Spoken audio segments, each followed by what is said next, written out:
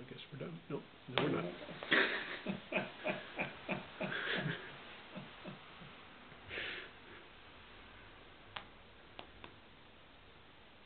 Those are so funny. What is it about your shoes? Uh, And I have, uh, these are my old tennis shoes and I'm more comfortable than my new fancy ones, but my, one of my cats loves to stick and play with the shoes too. Hmm.